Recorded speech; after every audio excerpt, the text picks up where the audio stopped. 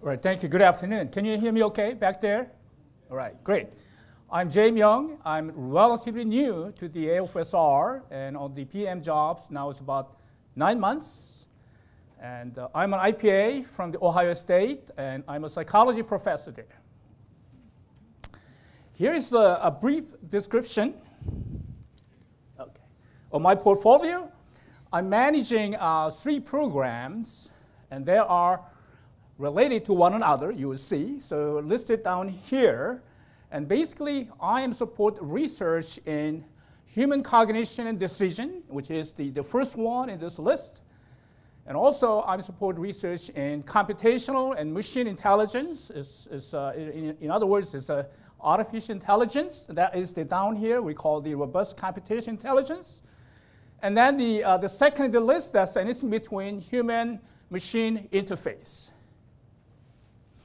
all in the context of complex problem solving and decision making. So the decision making is the, uh, the theme running through all three programs. So uh, this is a roadmap showing my strategy for the three programs.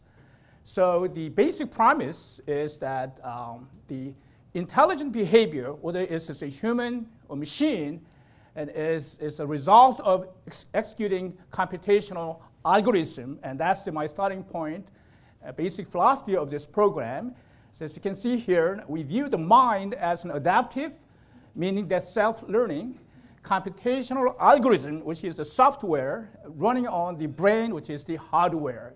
So that this is a human cognitions and machine intelligence, and this is a basic starting point. So that the, um, that means that in order to study or understand an intelligent behavior, whether it's a human and machine, we need to figure out underlying computational algorithms, which is basically mathematics. And sometimes looking at the hardware, which is the brain, and helps to figure out the underlying computational algorithm where the neurosciences comes in. So as you can see this here, I'm a strong true believer of multidisciplinary research where you need the cognitive science, that identify the mind's invariance from experiments. So you need to run the experiment, learn about how human, uh, human do. And then uh, we need the cognitive com computer science that develop computational algorithms of intelligent behaviors. Will give you, provide the candidate computational algorithm maybe you can take advantage of. And then the neuroscience tells about the neural hardwares.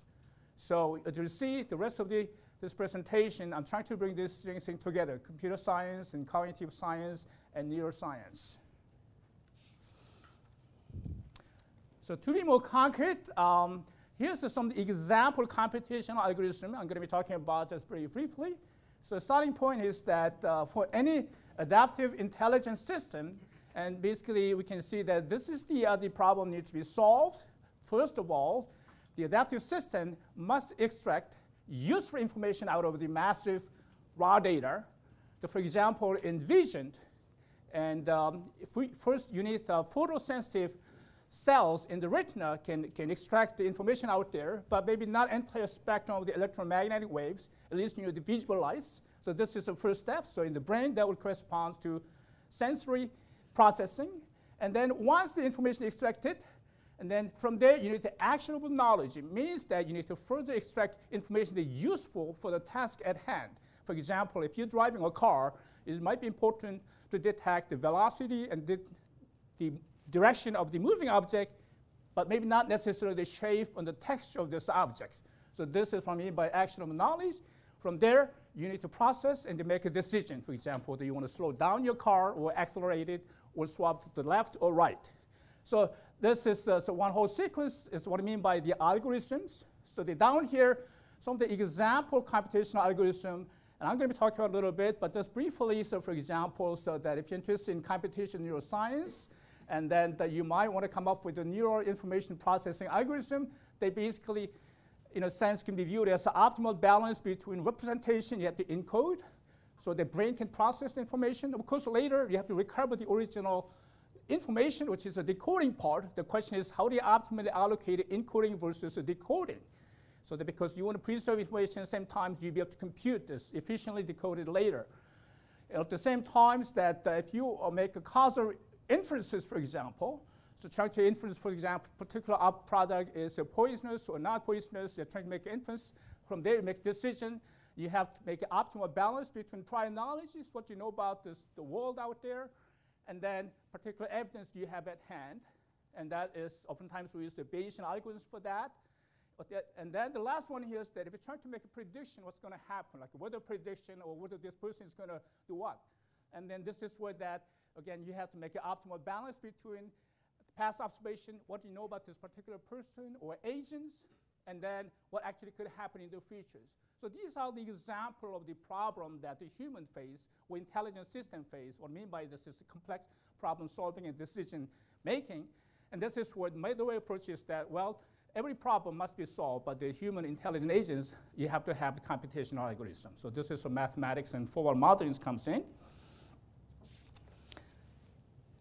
So before going to specific examples, I want to briefly spend time uh, about this program trend. So the, my three programs can be subcategorized into these nine sub-areas.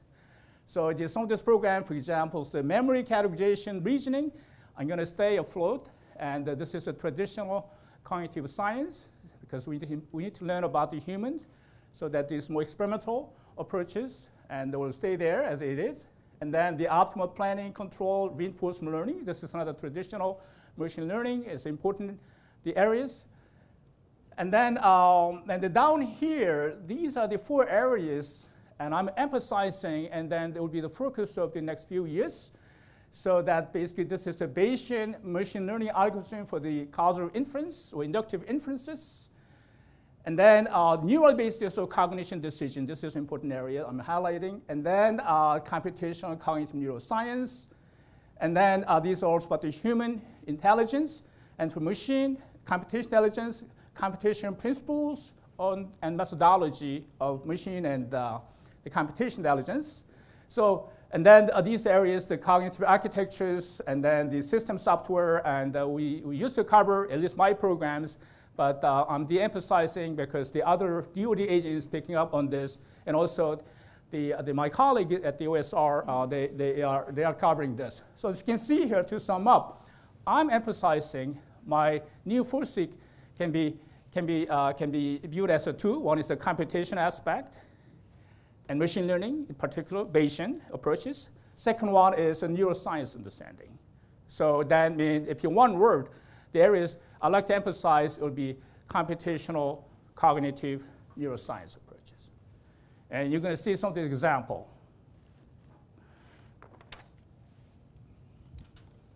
All right, as I, as I mentioned earlier, I'm managing three programs. So what I'm going to do the rest of the presentation, I'm going to tell you a bit more about this each program and with one slide, and then highlight what I consider to be the most exciting project under that program and, and example uh, research projects. So this is the first program. It's called the mathematical modeling of the cognition and decision, and forget about this, uh, this number, and this is uh, internal, uh, the, uh, the accounting number. I didn't know, I'm, not supposed to put it there. So that the goal of this program is that advanced mathematical formal modeling of human cognition and decision, an example of human performance is attention, memory, categorization, reasoning, and inference, planning, and decision is, is, is not, not exhaustive list, okay? And then the, the strategies and challenges are we seek computational algorithms for adaptive human intelligence inspired or based on the brain sciences because the human brain is the most amazing computation machine. So that uh, this is where the neuroscience can, can help play. But my program per se is not a neuroscience program, so that's a neuroscience inspired base. That's, that's a better way to characterize it. So obviously this requires multidisciplinary efforts, cognitive science, mathematics, computer science, statistics, and neurosciences. So my portfolios cover about 50 or 60 PIs, and, and they are, disciplined all over the places. I have engineers and computer science, mathematicians, statisticians, and neuroscience, of course, psychologists. So I have about four slides just highlighting this one program, Cognition and Decision, and I have decided to pick out this, the Professor Aurel Lazar, and, and just an example of this particular, uh, the, uh, the program focus. And uh, He's electrical engineering professor at Columbia, and he studied the neural basis of cognition. And um, he is one of those who answering or tackling the most important, at the same time, most challenging problems in the study of the mind, which is how the brain processes information. And this is the holy grail in neuroscience. So uh, the, um, and uh, why this is an exciting and challenging problem? Because we know a lot about the neurophysiology, neuroscience and brain, we, all the way down to, say, synapse and neurons, even biochemical process, calcium potassium channels. And, and if we go to neuroscience meeting, I was there for 30,000 people came, and there's a lot of work going on there. But also the whole area of psychology, cognitive psychology, to science, we know a lot about the human cognition, decision, human behavior. Thousands of experiments done every year. Okay? So we have here one here, the brain. The other side is, is, the behavior. And this between there's a huge gap. This gap is as wide as deep as the Grand Canyons. So that one way to fill this gap is computational approaches, where this computational cognitive neuroscience come in. And, and he's one of those who, who, who try to fill this gap and from this engineering point of view. So this is where he began his enterprise so that he would build mathematically rigorous computational theory of neural processing based on or inspired by uh, signal processing. He's a signal processing W professor. So that his mathematics come from signal processing literatures. At the same time, based on the known biology of the brain. So this is where these two things come in, neuroscience and electrical engineering. So he would build numerous computational theory. At this point, it's a theory. It's not necessarily brain theory. And then, then he will simulate this theory on computer and see, see how much you can learn about how the brain works. Okay? So that uh, he will use these models, Hodgkin-Huxley models of single neuron computation, and they won this Nobel Prize, so that basically they come up with the four or five equations that describe exactly what happens. So that here you can see the little, uh, little star, that's like a single neurons. So you can see that this is a synapse and dendrite tree. They're talking to one another. What this neuron is doing is that they generate, generate series of spikes. So this is neural spikes are generated. There's like four neurons are generating. So the, how this, each of these neurons can generate spike, this is so the complete understanding at this point. I should say complete because this model is pretty, pretty good so that this mathematics already known. So this is his starting point. So he will build, he'll bring this together, lots of hundreds of thousands of neurons. Each neurons will, will, will, will generate the spikes. And then the second uh, starting point to his enterprise is this notion, this is his current sort of accepted paradigm, said that cognitions or perception is an end product of neural computation. Meaning that, supposedly here, this is experiment so that you can run this with like, the cat. So while this cat is looking at this slanted the bar, it can move, it can up and down. At the same time, you can measure this. what is that? Basically, this information, this uh, visual signal, transform into series of pulses, neural pulses. Of course, there's lots of neurons here. So this analog signal is transformed into digital signal because the digital signal, that is the signal that brain can understand and process. So that's the first part of the information, trans information transformation. Okay, the question is, whatever that the cat is looking at, is seeing or thinking, is, is in, contained in here, right? So the big question, but, but at the end, okay, so this is a specific scientific question that he is attacking. The question is basically this, uh, this one. What is a neural code? The given that we know how to measure, even we can measure 500, 600 neurons, single cell recording can be done. But that does not mean we know what the brain is doing, what, what, what this person is thinking. The question is from this, can you actually recover cognition from neural spike data? So this is like an inverse problem trying to do. Of course, we do this all the time, at the, even, even at the moment, for example. So he, he built a complete theory from the encoding part, which you translate the analog signals outside signal into neural spike using the Huxley and network model, neural models. And from there, he will see what he can recover the original images that what is presented to this computer simulators. So that's his approaches. So uh, just basically that based on these two specific hypotheses, assume there's the neural idea of the neural population hypothesis. In other words, it's not the single neuron that encodes information. You have to look at the population of neurons. So they're looking at the single neurons, see what the spike pattern, what the statistic does not tell you much. Because you look at the whole population neuron because the neurons is doing process information as a group. That's the first population coding hypothesis. And the second is, as, as alluded earlier, so that basically what the brain is, is the first part, sensory encoding, is a, is a, can be viewed as analog and digital converter in the early sensory part. And the later part of the brain basically trying to recover the analog original signal from the digital. So you can see this is uh, the inkling of this uh, signal processing person. That's his background. So that this is, uh, this is the diagram showing that or whatever that analog signal, this could be image, also colored, converted into uh, this, uh, the digital signal. This is we use the Huxley and Hodgkin models. And then in, in this case, actually he used the video data. So this is not just toy demonstration. He actually presented a network with actual video streams. And, uh, and then, and, and, then this is the first part of the early part of the is models, and the second part from this, you must recover the, what was the original video stream. So this is a massive undertaking, and he has a complete theory and proved the theorems, so that this is information preserving, analog to digital, digital to analog processing. These are non-new transformations. So the mathematics is, is quite challenging. So, uh, so this is uh, it's supposed to be video stream uh, demonstration, but unfortunately um, um, I could not, so I can simply show that here's the original images. It's supposed to be 30 second video. And, and this is the, uh, the, the recovered video stream, okay? And, uh, and, and then there's the, the difference between. So they can see that whatever the original information, the image data can be coded into digital signal and later can be recovered fully from the digital to analogs. And so uh, as I can see, this is the first ever demonstration of the natural scene recovery, even video streaming images. So this is one sort of existence proof that what could actually do, brain might do. We're not necessarily saying this is the brain work, but this is one starting point. And once you build this model showing that it, it works, and you can do a lot of small things, experiment this and that, and this is trying to bring this to more close to brain. So that is his next step. Okay. So um, that was the, uh, the, the, first program. And um, as you can see, I have uh, a lot more PIs, but I decided to just focus on one PI, highlighting this uh, cognition decision program. Now, this is a second program.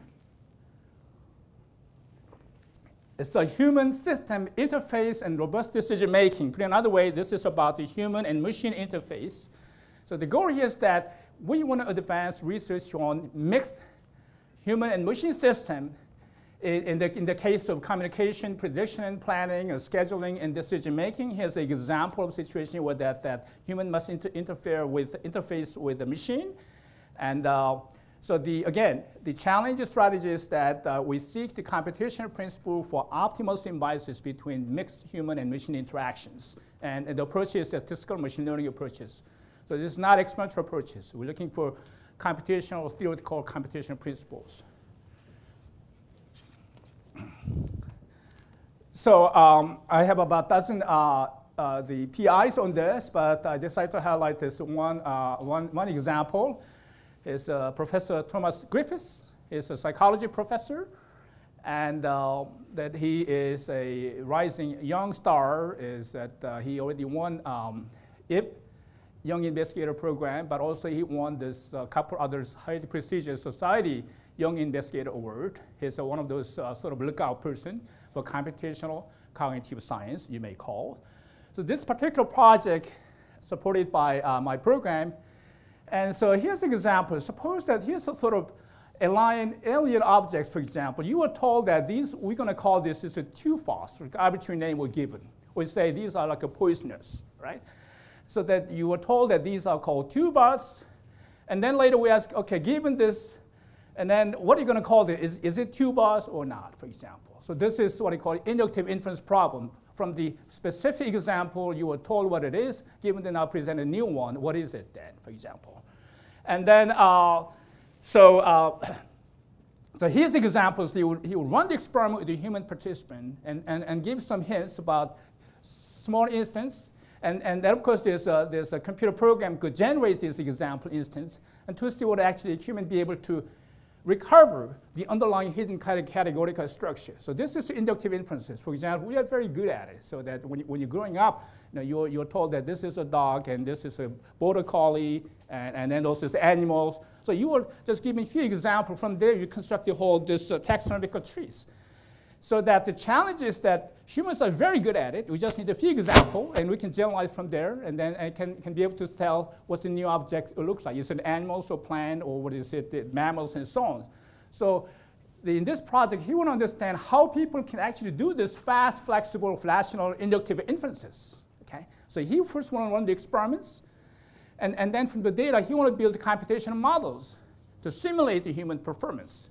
So idea is that because humans are so good at it, you don't need thousands, hundreds of examples, you just need a few examples. Then once you figure out this computational algorithm can account for human data, maybe you can translate into the actual, the theoretical, the computational algorithm can actually use so that this uh, man and system interaction cases, for example, you know, they may, UAV may collect you know, the barrage of the data, so that maybe this computer algorithm do pre-sorting, say that this is the enemy, this is not enemy, these things, and then human can deal with that. So that sort of this is sort of surrogated brain you can build.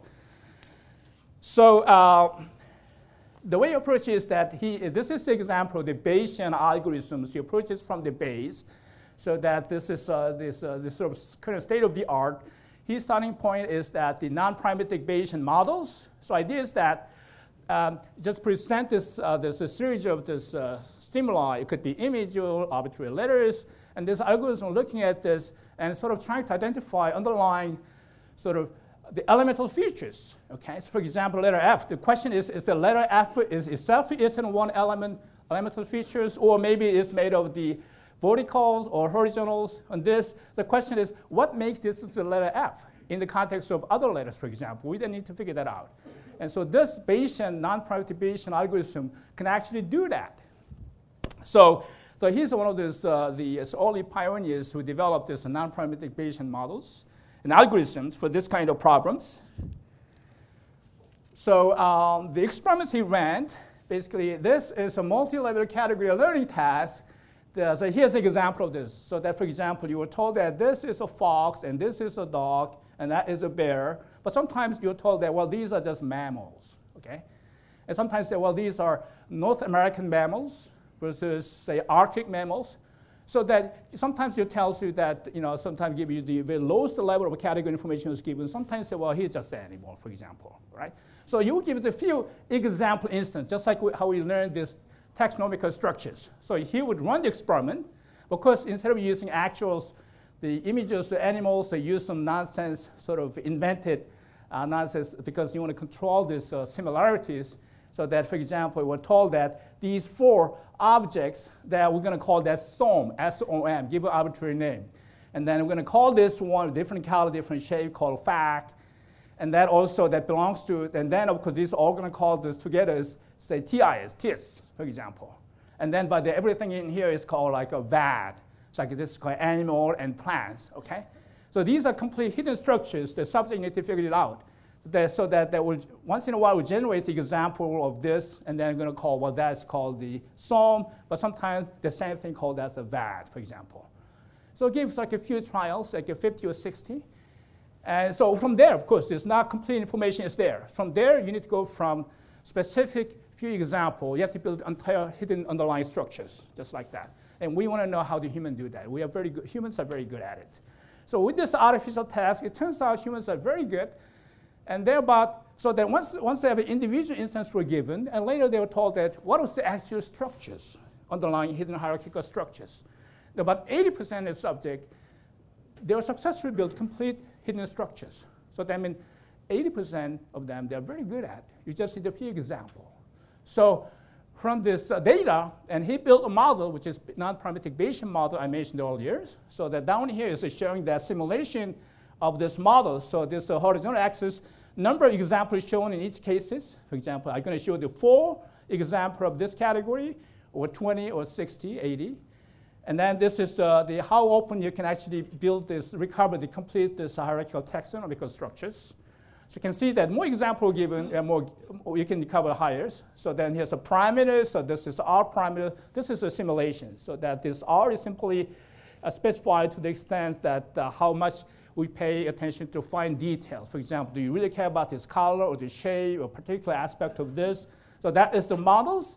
And it turns out this, uh, this prediction from the R equal to 3, that is, uh, is uh, this one, and that captured the human performance. So that means here's a So based on the human experiment and the data, he built this model that accounts for human data pretty well. And then, then and this maybe could incorporate into the later when you build a computational algorithm for human and machine interactions. So that was just one example I wanted to highlight. And uh, that was the second. And then the last, the third program I'm managing. And this is called the Robust Computational Intelligence. And this is a, there's no humans here. And basically, it's about the computational, so machine intelligence. But bio-inspired, inspired by the, uh, the brain. So again, we, we, we seek for computation principles and methodologies for building and understanding autonomous systems, just like a human do. So what I'm going to do is that um, I'm going to highlight two projects. One is and tell you about robotic agents. Somebody built robotic agents and algorithm and can actually simulate it in real world environment. This is how robot can actually learn, adapt in new environments. And the second is the, the human, uh, human experiments, trying to understand this uh, computation intelligence, uh, of course, in the brain. So uh, I'm doing okay on time, I guess. So that the first, uh, the project, this is Professor Pagnucco, and he's at Downey, Australia, University of New South Wales. And so So this is an example of automated reasoning by robotic agents, and this is on the robot that, that he built and he used. So this robot can uh, navigate and explore autonomously in uh, initially unknown environments, and, and then uh, and, and, capable of making inference about its surrounding, and also be able to uh, adapt unfamiliar situation, even in the presence of erroneous information. Some of the information was given or fed into, the sensor is wrong, but you need to figure out that's wrong information. So just like uh, we, we learned in variant, the system is a dynamic and uncertain and highly complex. So that the one example he demonstrated, and this diagram is a very rough diagram of this, uh, this algorithm that he implementing. There's a lot more details uh, for this uh, algorithm so that he actually demonstrated so in this uh, spatial mapping so that this robot would navigate fully going up and down and, and trying to build a map here so that this green areas, that's the areas has been explored, and, and the map has been built, for example. So, uh, okay, this is a very basic, uh, this, the research at this point, but uh, the more focused on algorithmic development. But if this thing uh, can be uh, potentially in the future transition into micro air vehicles, for example, you can send out these uh, micro air vehicles and just explore the situation, and then build a map and tell us about what I've actually seen. And so uh, that's down to features that if this uh, it goes successful next five, ten years, and maybe we'll be able to have such micro air vehicle systems. And then um, the second example, and, and then th this is a project, is a lab task project uh, by Dr. Patterson at the Air Force Research Lab. And uh, this is more experimental investigation at this particular point. So he was interested in studying how humans or people learned Learn means intuitively, without making conscious efforts. Learn the temporal structures by passively observing a series of events unfolding over time, one after another. So that, the, for example, he using this uh, synthetic terrain images where that you can see the truck and tanks and rocket launches, so that he built this artificially, so certain objects appears and then goes out of the screen, but they complete control under this, uh, this, uh, this graph structures. For example, you may first see a truck, and from, you go from the state S0 to S1, and, and sometimes you see the humors, and then from, you see another trucks, or sometimes not always, okay? So that this, uh, the tree, is a probabilistic uh, figures, okay? So that there's certain structures built in, but there's not deterministic probabilistic. So that these things come and goes, and then you're supposed to watch for like two hours. And after that, you ask good question, for example. Now you're seeing this tank. What's going to come next, for example? So that uh, the question is that this the data can show here. So that this was the uh, the the recognition decision. So that the baseline is 50%. This is control condition. So that in this condition, there's no such temporal sequence structures, and then there's about 50%, half and half. But uh, in, this, in this example, where they, they're observing the series of cars and tanks and, and, and this come and goes, and they were not told what were they supposed to simply just passively observing, and they're actually the performance, passive viewing condition, they're actually the performance more than chance level. That means that somehow we do pick up certain temporal structures, and we do just unconsciously. This is, this you can call this is implicit learning, okay?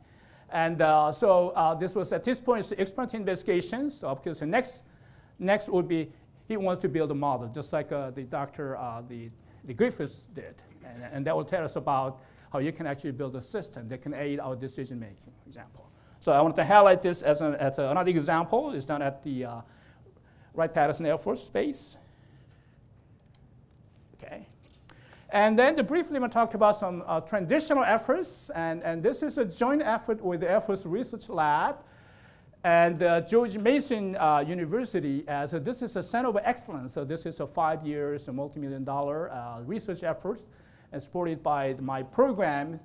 And so there's about 10 researchers involved from the George Mason University and another five or six from the, uh, the Air Force Research Lab. In, the, in this topic is neuroeconomics, ergonomics, I should, I should say. It means that this is a neuroscience approach to human factors research. So that the goal here is, uh, is not just enhance the science they are engaged in, and, uh, but also encourage the, uh, the interaction and research collaboration between Air Force Research Lab scientists and George Mason University, uh, the researchers. So actually, this is just, uh, we just finished the first year, so there's a lot happening during the first year. So there's uh, people visiting one another, they're publishing papers together, and, and then also the, uh, down here, as you can see, this is uh, another example of uh, the workforce developments, the students, graduate students, and postdocs from George Mason University, they would go and spend their summer time in Wright-Patterson University, interact with their scientists. So uh, uh, this, this has been, uh, so far, it's been very successful, and, we're going to second year now here. So I just want to highlight that this is what I call direct transition, so that the university researchers and then the Air Force lab scientists, they are directly engaging and working on the project and publishing the papers. Okay. And just briefly, uh, other organizations I interact, and I interact uh, with my peers at other DoD agency and uh, ONRs and, uh, and uh, NSF, and I also go to their program review meetings and also attend their workshop they organize, and I write a MURI uh, proposal together. But in particular, these two, ARO and NSF, um, and these are the two the agency I most closely interact with because our program focus uh, fit well with one another. Just want to mention those programs and then PM their names. These are not exhaustive. And uh, this is uh, my second last slide. And before closing, I want to highlight some recent accomplishment. And remember that I mentioned about the CENTEC, uh, the research initiative. And uh, just recently, they, uh, they published a special issue on neuroeconomics in, the journal called Neuroimage. So this is uh, the top rate, uh, the flagship journals in neuroscience method. And, and it's, it's actually, it was a, it's a couple pages, you can see that. So here's a, there's, there's about 12 papers here, about out of 12, about I think it's like three or four papers that actually jointly co-authored between the GMU professors and FRL scientists. This is really working out very well. And that's the first highlight. The second highlight I want to mention is that here um, the uh, Professor Toby Walshes, and uh, he is uh, one of my PIs under this uh, robust computational intelligence program in down in Australia. And uh, his team, his team member, I should say, Dr. Peter Stuckey and the person in this uh, in the, on the left. And recently he won this uh, Eureka Prize for Innovation in Computer Sciences. And I was told that this is the highest prize in computer sciences in Australia and given annually, given by Google Australia. It comes with a $10,000 cash prize. And so uh, here's an example of what that, um, you know, it, it brings out certain breakthroughs. So, but I should, I should also mention that this uh, Dr. Wang Shi, they originally funded through the AOARD in the first year, and then a transition to, to, to my program here. So currently he's under my program, but originally started as an AOARD projects. So the AOARD, they, they pick out this Dr. Tom Walsh's. Okay, so this is my last slide. So uh, to recap, the basic uh, premise of my investment uh, philosophy is that I view the cognitions or intelligence as a, basically a computational algorithm that require multidisciplinary efforts to uncover that brain algorithm. Once you understand the brain mechanism, that could, could, could, could be uh, used to build autonomous systems. So that requires the computer science, mathematics, statistics, engineering, and psychology, and so on and so forth. So that the down here, with that, here's my um, projection, vision into the futures. That, that um, and, and I, I like to say uh, if this, my pro program succeed in next 10 or 20 years, we might be able to see this uh, potential breakthrough. Is one is a neurocomputation foundation of cognition. This is the holy grails. And we be able to finally figure it out. And, and I think we're almost at the threshold. And, uh, and also may be able to uh, have this self-supporting, uh, self-learning decision support system. And this is most looks like it comes from machine learning and Bayesian algorithm, some form of it. And then finally, we may be able to build a trustworthy autonomous agency with that. And thank you very much. And then uh, any questions?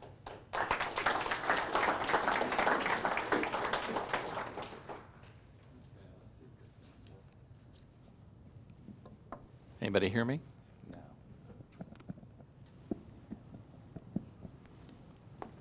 No. Okay. Ah, on. Any questions? Yes, we'll use this mic because it'll go out. So Jay, I, I really love the notion of the grand challenge of unlocking the neural code. Obviously, that's a bunch of Nobel Prizes. Um, and I'm really happy, you know, since it might be in our lifetimes, for you to say that we're on the verge of, of that. I- Is there a single huge hump that needs to be gotten over, in your opinion? Or is it a series of small or medium-sized humps? Can you say anything about the specific problem that, in your opinion, really needs to get solved? I have my personal opinion on this uh, because that's why I highlight this, uh, this uh, Dr. Lazar, because oftentimes people focus on a single neuron trying to understand the uh, real spikes. And, but his approach is that you have to look at this entire population of uh, the neurons, and because simply just this is an analog to digital converter, so looking at what each neuron is doing is, does not tell you much about it.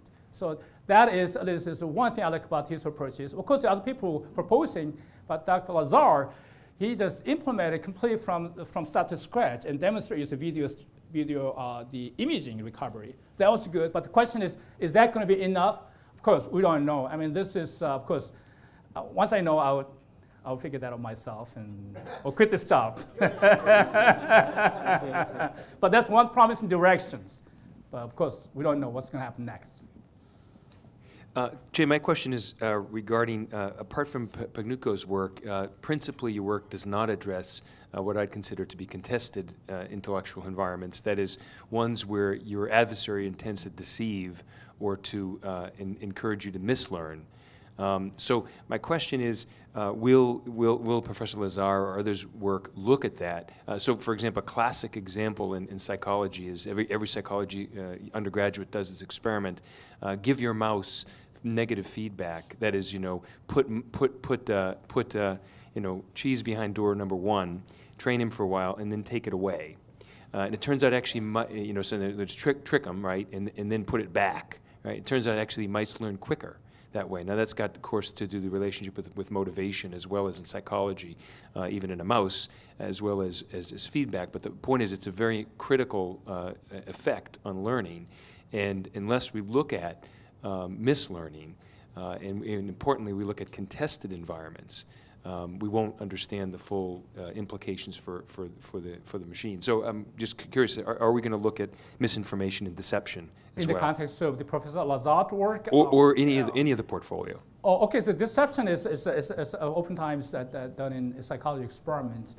I mean, there's a lot of tons of data is out there and how, how people learn and behave under these conditions. But if you build the models at this point, I think we're not there yet. None of my PI is actually looking at that one. Yeah, I, that's how to say So we're trying to understand the basic cognitive mechanism at this point, not bringing emotions or deception. That's the next, uh, next, next wave.